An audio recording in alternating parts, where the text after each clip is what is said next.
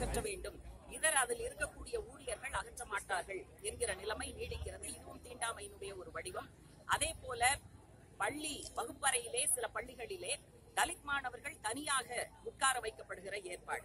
அதே மாதிரி நூறு நாள் வேலை பாத்தீங்கன்னு சொன்னா இந்த மிக மோசமான கழிவுகள் இருக்கக்கூடிய பகுதியை சுத்தப்படுத்துகிற வேலை வந்து தலித் தொழிலாளிகளுக்கு தான் கொடுக்கப்படுது. அப்ப இதுவும் தீண்டாமையினுடைய ஒரு வடிவமாக பார்க்கிறோம். சில கிராமங்கள்ல முடி திருத்துவதற்கு அனுமதி இல்ல. பக்கத்துல இருக்கக்கூடிய டவுனுக்கு போய் தான் முடி வெட்டக்கூடிய அவசியம் என்பது தலித் மக்களுக்கு ஏற்படுகிறது.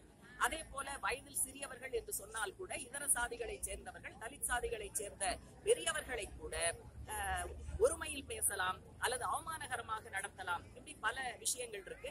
அதே போல அடிப்படை வசதிகள் இல்லாததுல தண்ணீர் ஒரு மிகப்பெரிய பிரச்சனை. கழிப்பறை பெண்களுக்கான கழிப்பறை அறவே இல்லை என்பது பிரச்சனை. சுடுகாட்டுக்கு பாதை இல்லை. சில இடங்கள்ல சுடுகாடே இல்லை. பட்டா கேட்டு விண்ணப்பித்து பல ஆண்டுகள் ஆன பிறகு பட்டா கிடைக்கல.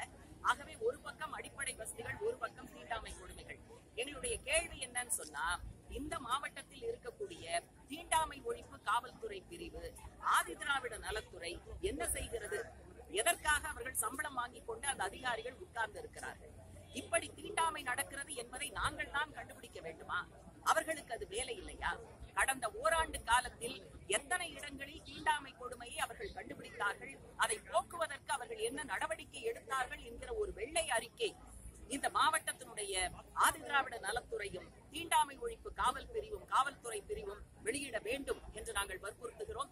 ஆகவே இன்றைக்கு மத்திய மாநில அரசுகள் கடைபிடிக்கிற கொள்கைகள் அனைத்து மக்களுக்கும் ஏழை எளிய மக்களுக்கும் பிரச்சனைகளை உண்டாக்குகிறது. அதிலே சாதியாலும் பொருளாதார ரீதியிலும் நலிந்த வகுப்பினராக இருக்கக்கூடிய தலித் மக்கள் இதனுடைய ஒட்டுமொத்த பாதிப்பை சுமக்க வேண்டிய அவசியம் இருக்கிறது என்கிற அடிப்படையில் தான் தலித் மக்களுடைய குடியிருப்பு பகுதியிலே நிலவ